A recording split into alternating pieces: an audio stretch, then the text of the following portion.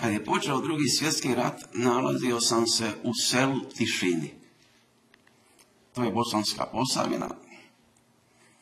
I bilo je, bilo je lijepo vrijeme i sjećam se, mi smo djeca pjevali bolje rat nego pakt, bolje grob nego rob, nismo ni znali šta to znači, ali narod je to na veliko vikao u, to vrijeme.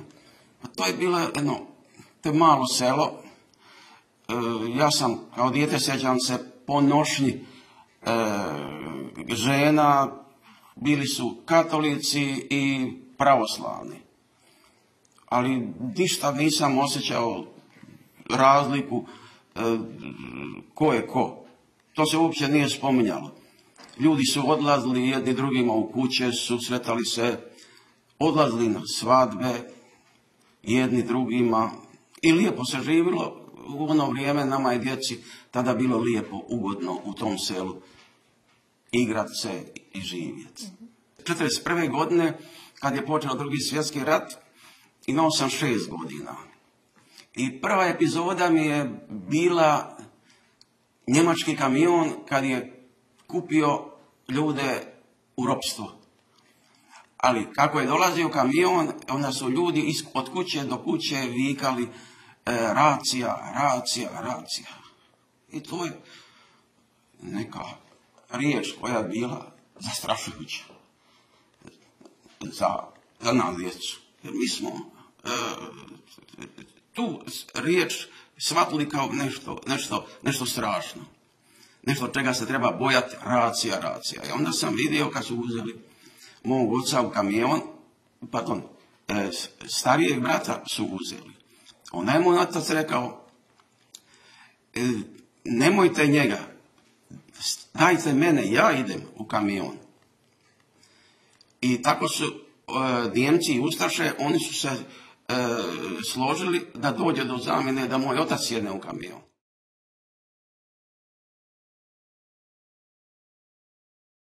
Mi smo bili svi ko bilo je Srba, Hrvata, muslimana i jevreja i mi, nije bilo politike i mi smo bili svi kao prijatelji.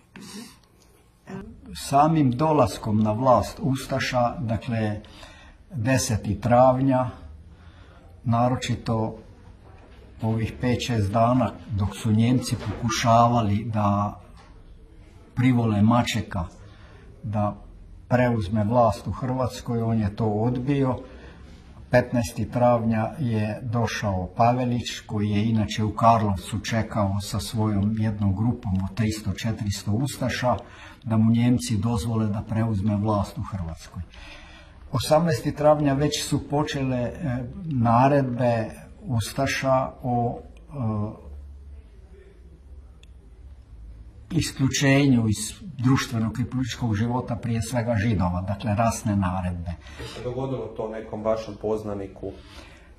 Moji poznanici židovi su počeli, prije svega su ovaj, morali se prijavljivati i nositi onu židovsku zvijezdu na leđima. To je bio jedan pokazatelj. Drugi pokazatelj e, počelo se odmah i sa progonom Srba. E, jeste razgovarali s nekim I među, njima, I među njima sam ja imao prijatelje, među jednima i drugima i e, oni su njih su počeli hapsiti. Ali su istovremeno počeli hapsiti i sve e, takozvane komuniste i njihove simpatizere, a među njima sam naravno bio i ja i moja supruga i velik broj mojih prijatelja i mi smo morali pomalo ulaziti u, u ilegalu. Narod mi je dočekao kao neprijatelje, jer svaki narod ako je pošten i živi svojim životom, brani svoju slobodu i integritet, on ne voli neprijatelje. Tako smo i mi na Ižu odmah smo ih mrzili jer su nam pravili velike poteškoće i to je bila okupacija. Možete reći kako su oni propagandu provodili? Kakve akcije? Pa oni su propagandu provodili s time praktičnu propagandu. S time da su, ako ih ne bi pozdravio sa fašističkim pozdravom, onda bi te tukli, maltretirali, hapsili i razne stvari su pravili koje su nam bile neugodne, s tim su više stvarali e, sve veći bunt kod naroda i narod je onda se išao boriti u partizane, sva mladost i tako da je postao još veći teror. Kada je 1941. počeo rat i dogodila se okupacija, em, šta se dogodilo u gimnaziji? Ja sam bio u A razredu i to ste bili od prvog pa do osmog razreda. Tad je gimnazija bila osam godina, jer sad je to samo četiri.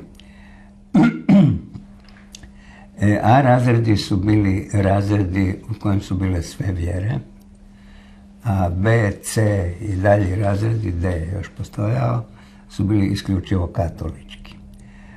Razlog je bio u tome što je bila nastala vjera, pa je onda bilo nemoguće da u svim razredima budu mješoviti.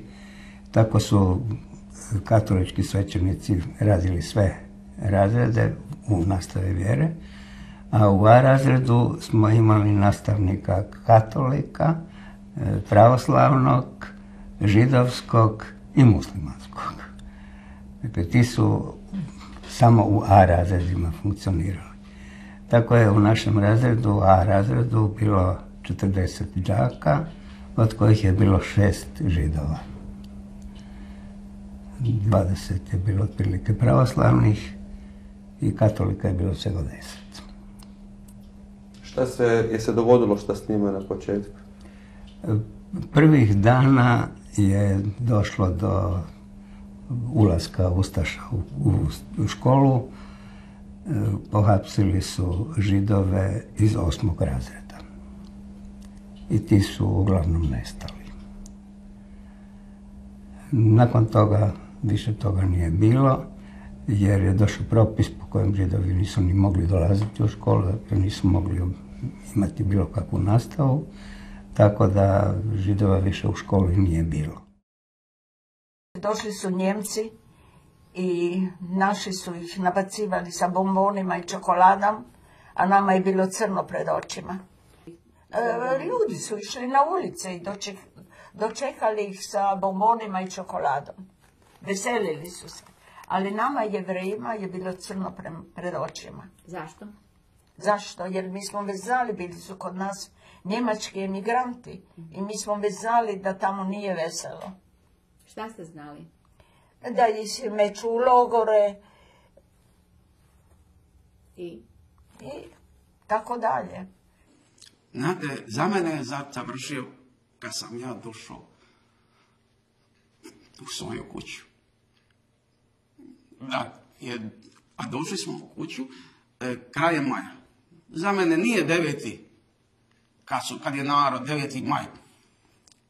Kad je došla sloboda, je, ja to nisam. Ja sam bio sam u krastava, bio sam u šug, u šugi, u bolesti. Ali kad smo ušli u svoju kuću, onda Znate, izbjeglica biti. Ovaj, i, I poslije se to, nažalost, na Balkanu, evo, nedavno se događalo, ali kad se ne, dok čovjek ne obrati kući, za njega rat nije završio. Zdravko, mene zanima, vi ste stradali i od strane katolika, ustaša, Hrvata, a i od strane Srba, pravoslavaca, četnika. Kako se vi sada izjasnjavate po nacionalnosti? Kako se vi sad osjećate? Moj otac je rekao, ako ostane živ ovaj rat, bit će Jugoslaveni.